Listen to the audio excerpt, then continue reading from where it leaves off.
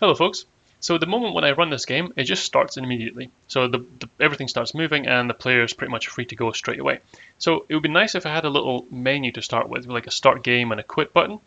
And that's what I'm going to add in right now. And because I've already created this button class, it's actually going to be really straightforward to add more buttons because the hard work's already done. The functionality is there. I can just create as many instances of this as I need. So first what I want to do is load in a couple of pictures. So the first one is my start image. So I'm going to have two buttons or two extra buttons, and these are going to be start and exit. So where I'm loading my images here, I'm just going to load these pictures in for the buttons. So I'll just say pygame.image.load, and it's image forward slash, and this one is start underscore button, PNG.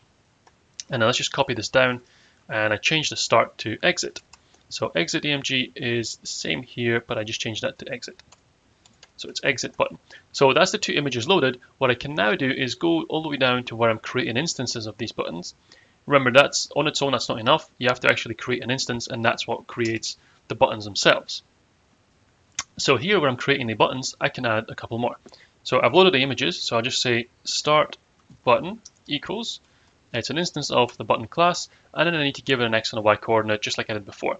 So this is also going to be screen width divided by 2 uh, but these buttons are going to be a lot bigger, so I, actually this is the sizes that I picked from previously when I made the game. So I'll move them over 350 pixels to the left for the first one. And I'm going to put it pretty much bang on in the center of the screen. And then the picture that I need is my start image. So let's copy this down for the exit button. Change that to exit. And then the screen width, this one's going to be over to the right hand side. So this actually is going to say plus 150. It's going to be in the middle of the screen and the image is going to be exit. So that's it. That's the buttons created. Uh, but of course, I'm not calling the, the draw methods, so they're not going to be coming up onto the screen first. So let's scroll down into the main game loop. And above here, so I've got my clock and I've got my background being drawn onto the screen. So just above here, because the, these buttons are going to be pretty much the very first thing that is going to be loading within the game, I want to show both of these buttons on the screen. So let's say exit button dot draw, and then I just copy this down and then I say uh, start button dot draw. So if I run this game now, see I've got the two buttons coming up on the screen. Of course, not very useful because the game is still started, so nothing's happening when I click on them and I can play and I've just got these buttons constantly being drawn in the background. So that's not great.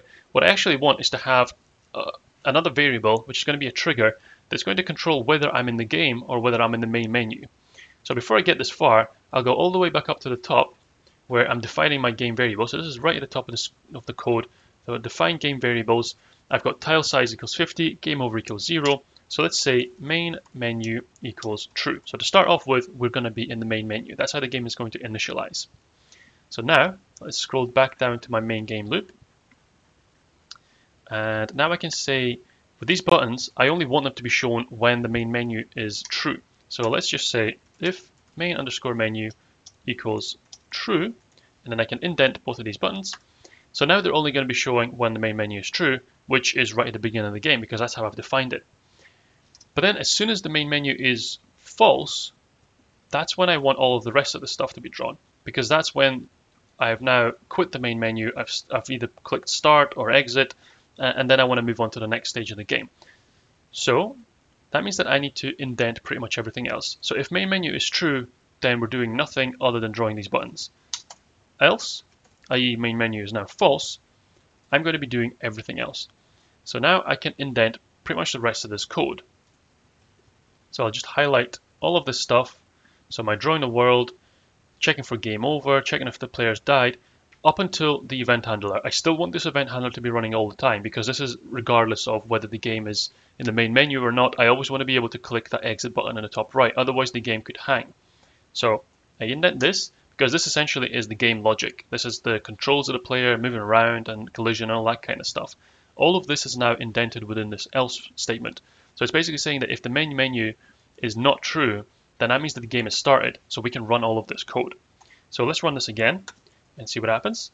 Now I don't have a level, I just have my start and exit button, so it looks a lot better now. It's like a proper introduction and a proper main menu. But now, if I click, nothing's happening because I haven't coded that in yet. So first of all, let's code in the exit button. That's going to be really straightforward.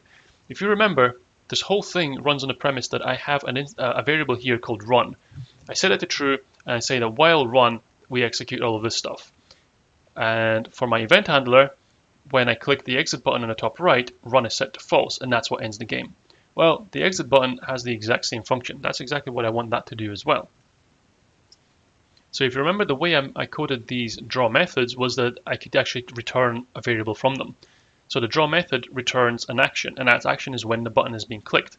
So it's not enough, I can just draw it onto the screen, but I can also take actions back from it. So I can say if exit button dot draw, and this is remember this is just a kind of a shorthand because essentially what this is saying is if that is true, and that's returning a variable. So I can just get rid of that equals true, and that's kind of implied by just saying if with a colon at the end. So if that's been clicked, then run just becomes false, and then we can quit the game. So let's run this. And if I just click exit, that's it. The game closes down. So that's it. That's all I need to do for the exit button. Now I can do the same thing for the start button. So if the start button has been clicked, well, the only thing I need to change here is my main menu variable. I'm currently in the main menu, but as soon as I click the start button, I'm no longer in the main menu. I want the game to begin. So main menu becomes false. Run this again. Uh, exit will still close the game. Start starts the game. And that's it. The buttons are no longer drawn because main menu is now set to false. So this variable is gone. And now the, the game begins proper. And that's pretty much it. That was just a quick introduction and a quick explanation of how we can use these buttons to add a little bit more functionality. So now I can actually separate the main menu from the game. So if you found this useful, then please do leave a like. And if you want to stay up to date with these, then feel free to subscribe. Thanks for watching.